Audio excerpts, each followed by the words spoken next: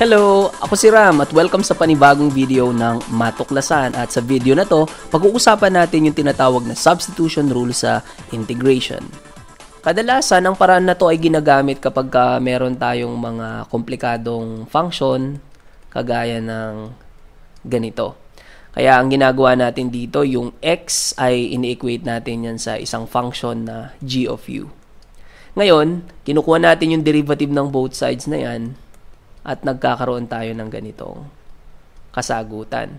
Ngayon, ang gagawin, kaya siya tinatawag na substitution kasi yung x ay pinalitan ko ng function na g of u at pagkatapos, yung d of x dito ay pinapalitan natin nito.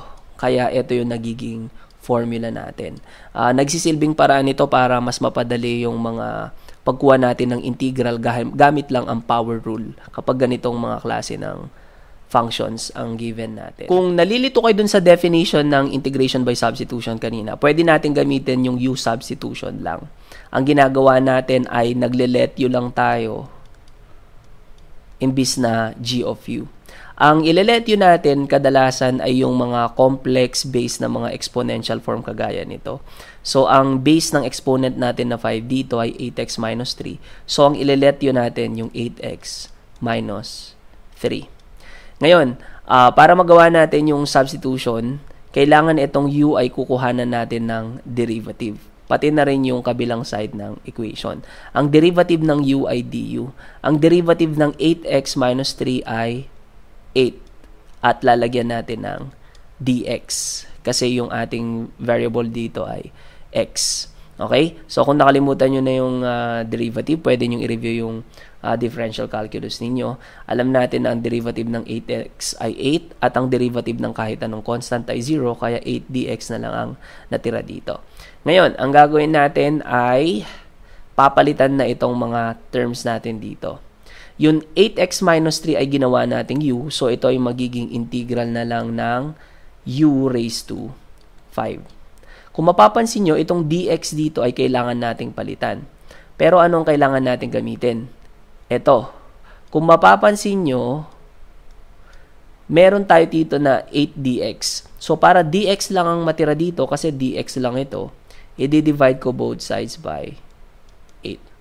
Pag ginawa ko yon ang matitira na lang dito ay dx equal to du over 8. Ngayon, yung dx dito ay papalitan ko na ng du over 8 para yung ating integration ay in terms of U na. At kung mapapansin nyo, mas madali na siyang tignan. Tama? Kung mapapansin nyo, parang general uh, power rule lang gagamitin natin dito o yung power rule na tinatawag natin sa integration. So, kung mapapansin nyo, this is du over 8. So, ibig sabihin, pwede ko siyang i-rewrite as 1 over 8 lang kasi 1 over 8 lang naman to, di ba? So, ilalabas ko lang yung 1 over 8 doon at ang matitira dito ay u raised to 5 du.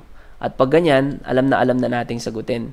Kasi ang derivative ng u raised to 5 ay ano lang, u raised to 6 at i-divide mo lang sa 6. Power rule na lang. Tapos itong 1, 8, di naman natin gagalawin yan. So, imumultiply lang natin yan sa u raised to 6 over 6. At syempre, huwag kalimutan yung plus c. Ngayon, ang gagawin natin ay i-multiply na, i-multiply na lang itong mga to. Kaya, pwedeng magkaroon tayo ng sagot na u raised to 6 8 times 6 is 48 plus C. Hindi pa ito ang final answer natin kasi in terms of U ito. Kung mapapansin nyo, yung original natin na ini-integrate ay in terms of X. So, ang gagawin lang natin, no, ay palitan itong U na to dun sa original na form niya. At ang magiging sagot natin ay 8x minus, oops, nawawala x, raised to 6 kasi yung u ay pinalitan ko na nung 8x minus 3 kanina. At naka-over tayo sa 48 plus c. So, ito na yung possible na final answer natin. So, kung mapapansin nyo, ginamit lang natin yung u para makuha natin yung integral nitong mas komplikadong uh, given na to. Uh, kung mapapansin nyo, yung 48 dito ay denominator lang, kaya pwede nating isulat to na 1 over 48 times 8x minus 3. So, pwedeng ganito din yung form ng sagot ninyo. Depende sa inyo kung ano ang mas madali sa inyong isulat. subukan naman natin yung u substitution dito. So, kung mapapansin nyo, ang komplikadong base natin dito ay yung 4x cubed minus 11. So, yan yung ililet yun natin. Ayan. So, we have 4x cubed minus 11. Pag kinuha natin ang derivative niyan, ang nagiging sagot natin ay 12 kasi 4 times 3 ay 12. Tapos, ito ay magiging squared. Yung exponent na 3 ay magiging 2. Ang derivative ng constant ay 0. So, 0 lang dito. Then we have dx here. Ngayon, kung mapapansin ninyo, kailangan lang natin mag-substitution ulit. Pero kung mapapansin nyo, meron tayo ditong x squared tsaka dx. So, ito, meron tayo ditong x squared tsaka dx. So, para x squared and dx lang ang matira dito, kailangan i-divide ko both sides by 12. Ayan. Parang matitira lang ay x squared dx, tapos sa kabila ay du over 12. So, yung x squared dx dito ay magiging du over 12 lang. At syempre, yung 4x cubed minus 11, magiging u na siya. So, ang gagawin natin dito ay magiging integral na siya ng uh, u raised to 5 kasi exponent natin ay 5. Yung x squared dx ay naging du over 12 na. Ito yon. Ito yon, 'di ba? Ngayon, parang katulad na lang kanina na power rule ang gagamitin natin dito. Ilalabas ko lang yung 1 over 12 dito. Para hindi lang nakakalito mamaya. Para pag in-integrate natin yung raised to 5, u raised to 6 over 6 na naman yan. So, ito yung magiging 1 over 12, u raised to 6 over 6 plus c. At syempre, kailangan na lang natin gawin ay i-multiply yung 12 tsaka 6 dito para maging 1 over 72 ito. At yung u natin ay papalitan ko na ng original na given kanina na 4x cubed minus 11. So ito ay 4x cubed minus 11 raised to 6 plus c.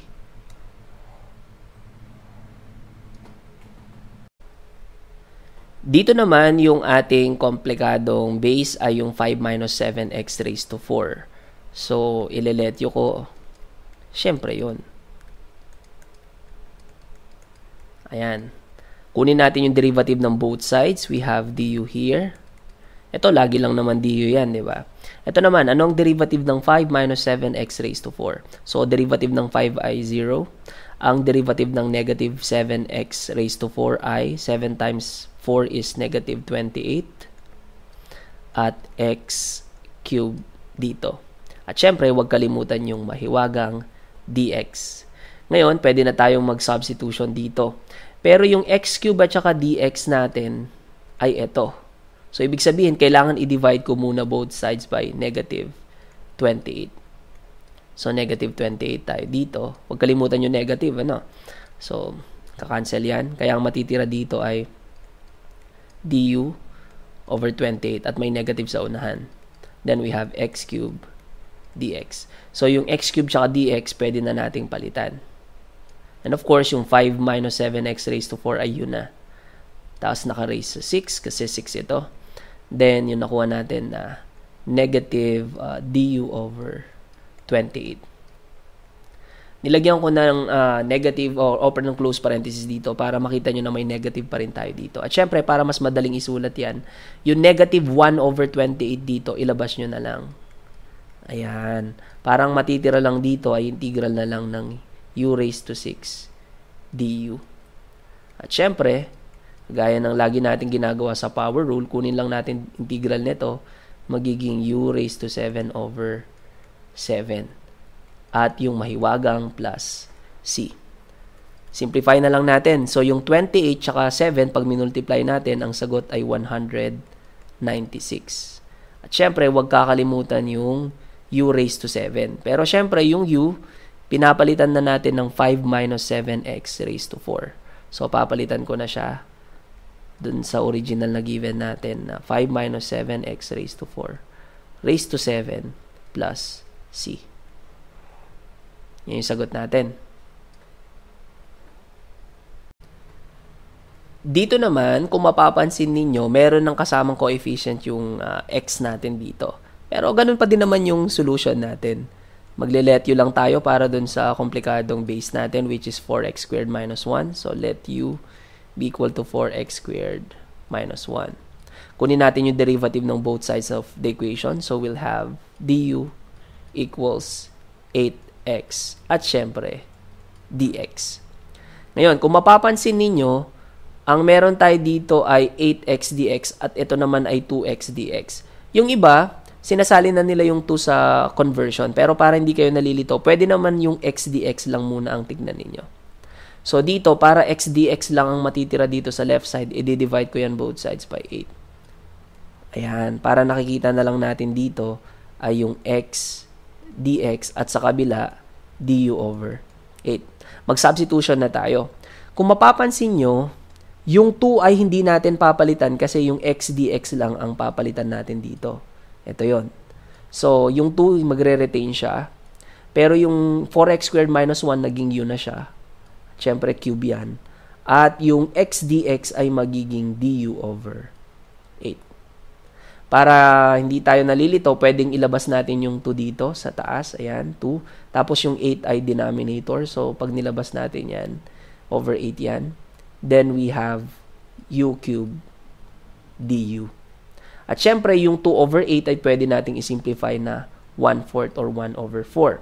At pag kinuha natin yung derivative nito, or rather integral, ang sagot ay u raised to 4 over 4. At ito ay plus c. Ngayon, pagka minultiply natin yung denominator na yan, nagiging 1 over 16. 4 times 4 ay 16. Ngayon, ito naman ay nagiging um, u raised to 4 lang. O, ilalagay na natin yung original na form niya na 4x squared minus 1. Siyempre, dahil raised to 4 ito, raised to 4 tayo dito. Plus c. At ito ang ating final answer. Dito naman sa given na to, kung titignan natin parang napaka-komplikado niya kasi meron na tayong square root dito, 'di ba?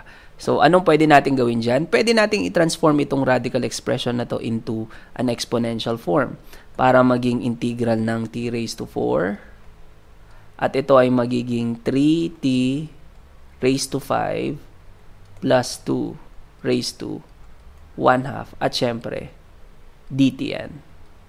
Ngayon, anong ilelet yun natin dyan? Katulad ng lagi kong sinasabi, tignan nyo lang yung mas komplikadong base.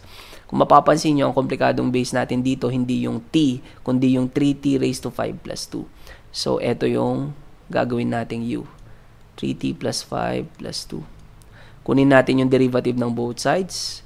This will become 15 raised to 4 dt. Hindi na tayo dx ngayon kasi t na yung ating variable dito. So, this should be dt. Ngayon, para masimulan na natin yung substitution, nakikita nyo na t raised to 4 tsaka dt to. So, para dito sa kabila, maging t raised to 4 dt na lang, di-divide ko both sides by 15. So, ayan. dt. At ito ay du over 15. Ngayon, makakapag-substitute na tayo. Yung ating t raised to 4 dito dito, dt dito ay magiging uh, du over 15. Kaya ito ay magiging u raised to 1 half. Tapos, syempre, meron tayong du over 15. Oops. Ayan. So, pag nilabas ko yung 1 over 15 dito, meron na lang tayong integral ng u raised to 1 half. Then we have du. Ngayon, kung papansinin natin mabuti, kailangan natin kunin yung integral nitong u raised to 1 half. At pag kinuha natin ng integral niyan, syempre, alam naman natin na yung 1 half i-add sa 1, kaya magiging 3 halves na ito. At sa baba, syempre, 3 halves din or 3 over to 10. Then plus c. Okay? Ngayon, pag sinimplify natin to, 15 times 3 halves, magiging 45 over 2. At pagka sinimplify natin yung 45 over 2 sa baba, ang nagiging sagot natin ay 2 over 45 u raised to 3 halves. Pero alam naman natin na yung u talaga ay 3t raised to 5 plus 2. So, papalitan ko na siya ng 3t raised to 5 plus o wag kayong nalilito dun sa ginawa ko dito. Una, i-multiply nyo muna to. Pagkatapos yung i-multiply, i-divide nyo yung product dito sa 1. na fraction para magkaroon kayo ng 2 over 45. So, makakuha yung sagot na ganito. Sa mga hindi nakapanood ng previous na video natin, yung iba kasi baka nagtataka bakit naging raised to 1 half bigla yan. Ba? Alam nga natin na kung halimbawa meron tayong mth root of x raised to n, pwede nating isulat yan sa exponential form na x raised to n, which is this one, over the index over m. Ba? Kaya ito naging 1 half kasi ang exponent nito ay 1 at ang index ng square root ay automatic na 2. Ngayon, uh, kung gagamitin natin yan dito, kung gusto ni ma'am na uh, answer na nasa radical expression nito, pwede naman na gawin na 2 over 45 and then square root kasi ang denominator ay 2 so dapat square root ito, ito. And then yung radicand natin ay 3t raised to 5 plus 2 ito yon itong base. At yung 3 dito na cube ay lalagay ko dito. Ayan. Plus c. So, pwedeng ito yung alternative na answer natin.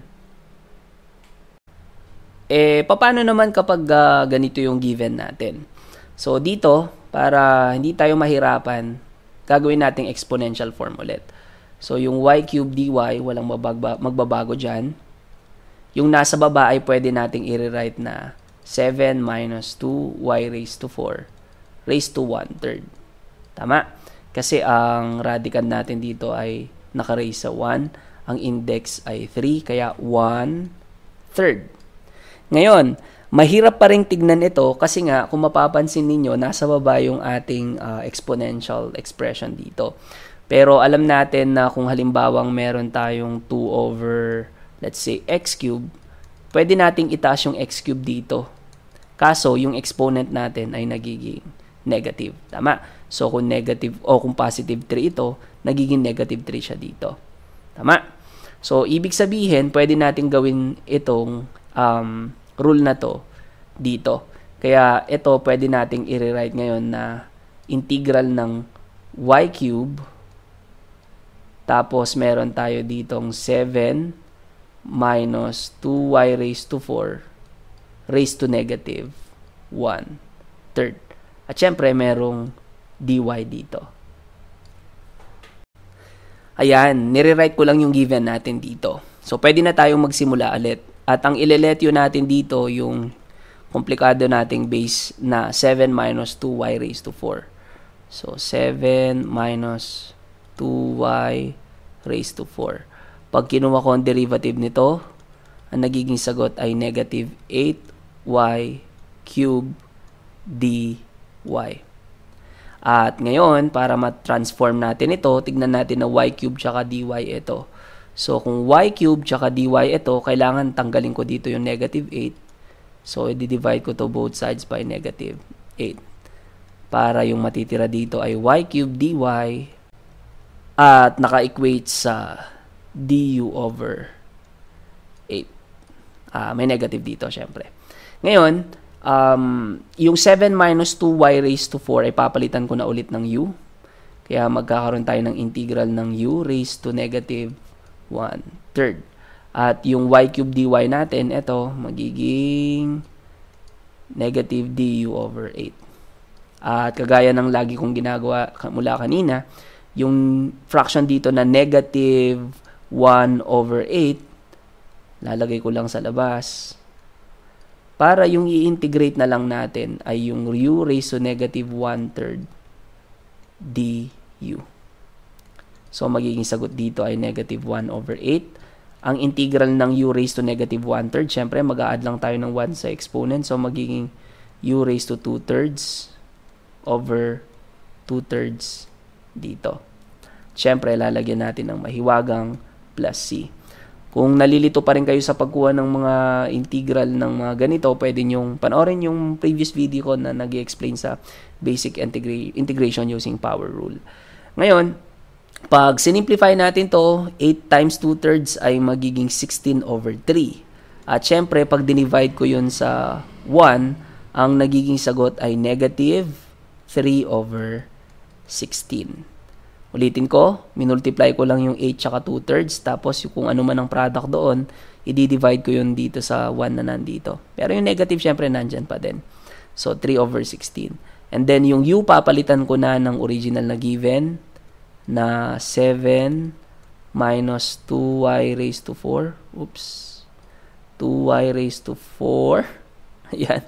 At nakaraise sa 2 thirds. Kagaya ng sabi ko kanina, pwede nyong i-transform yung exponent na 2 thirds dito na radical expression. Pero pwede na to. Ngayon, subukan naman natin ito. Ang ileletyo natin dito ay itong 3x squared minus 2. Pag kinuha ko ang derivative niyan, nagkakaroon tayo ng du Then we have 6x dx. Kaso kung mapapansin nyo, ito ay x cube. At kung halimbawang dinivide ko to sa 6, ang matitira lang sa kabila ay x dx. At yung nandito ay x cube dx. So, ibig sabihin, pag finactor ko yung x cube, pwede nating i-factor ito na x squared times x, di ba? At pag dinugtong ko tong dx, meron tayo dito na x squared times x dx. So, yung x dx, wala tayong problema dahil meron na tayong du over 6 dito. Ang kaso, wala tayong equivalence ng x squared in terms of u. Bakit lahat kasi ay u? Uh, dapat maging u. Kasi nga, ini-integrate natin ito using u. So, kung yung x squared ay hindi natin papalitan in terms of u, hindi natin masasagot yung ating uh, integral. Ngayon, Uh, para makuha natin yan, etong pwede natin gawin. Gamitin nyo etong u equals 3x squared minus 2 dahil meron tayong x squared dito. So, pag transpose ko yung minus 2 sa kabila, nagiging u plus 2 yan. At ang matitira dito ay 3x squared. Pag dinivide ko both sides by 3 yan, yung x squared ay mapapansin yung equal lang sa u plus 2 over 3. Ayun. So, ibig sabihin, pwede ko nang palitan lahat to in terms of u. Yung 3x squared minus 2 raised to 4 ay magiging u raised to 4 lang. Tama? Dahil pinalitan ko lang yung base dito ng u. Yung x squared dito ay ito ang katumbas in terms of u. So, magiging u plus 2 ito over 3. At syempre, yung x dx dito ay yung nakuha natin dito na du over 6. Ngayon, para mas masimplify natin yan, ito ang pwede nyong gawin. I-multiply nyo yung 3 tsaka 6, ang sagot ay 18. So, ito ay over 18. Itong tatlong to. So, ibig sabihin, pag finactor out ko yan, it's just 1 over 18. Ginawa ko yon para ang matitira na lang dito ay u raised to 4 times u plus 2 at lahat yan ay naka-du. Oh, minultiply ko lang yung 3 at saka 6 which is 18 at finactor out ko lang siya dito sa labas kaya meron akong 1 over 18. At syempre, kung mapapansin nyo, pwede nating i-distribute yung u raised to 4 dito. Pag dinistribute natin yan, u raised to 4 times u, the answer is u raised to 5. u raised to 4 times 2 naman, magiging plus 2u raised to 4. At syempre, itong dalawang expression na to or terms na to ay naka-du pareho. So, ang ginawa ko dito, nire-write ko lang yung ating given dito in terms of u. At pwede na natin kunin yung integral nito. Pag kinuha natin yung integral niyan, yung 1 over 18, pwedeng nasa labas lang muna yan.